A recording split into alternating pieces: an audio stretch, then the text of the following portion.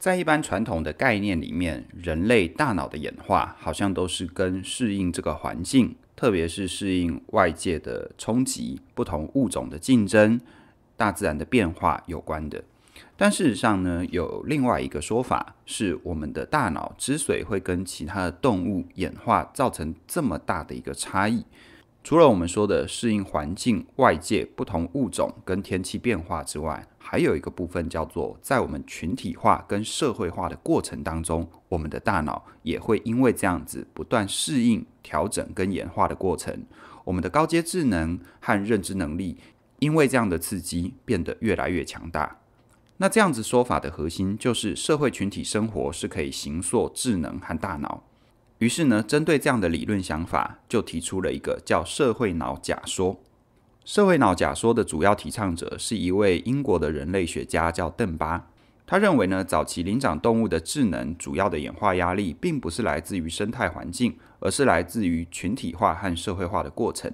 在这个过程之后呢？社群当中的每个个体，如果想要顺利的存活，就必须发展出许多高阶的认知能力，比如说思考啊、沟通啊、合作啊、猜测啊、判断别人的情绪啊、欺骗以及反欺骗的能力。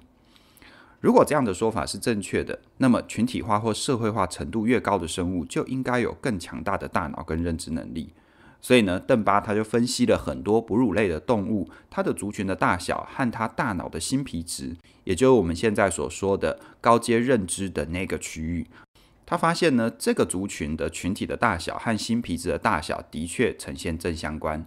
那一直到最近这二三十年的大脑造影的研究，也支持了相关的证据。好像一个人社交的网络跟社交能力越好。它的高阶认知当中，新皮质的区域就会越发达，占比也会更大。那么今天的分享跟你掉了一串书包，到底跟你有什么关系呢？其实说白了，就是一个很简单的观念，就是如果你没有人际关系，或者是你不认为人际关系很重要，那么现在的你可能连一般的猴子都还不如。希望你听到这个结论不要生气，但是它是个事实。我常常会说，有人的地方就有是非，有是非的地方就是江湖。既然你我都不可能退出江湖，那么我们就要学会怎么样悠然自得的在江湖当中纵横天下。所以换个角度想吧，如果你能够慢慢的培养起自己良好的人际能力，不管是跟别人连结还是达成共识，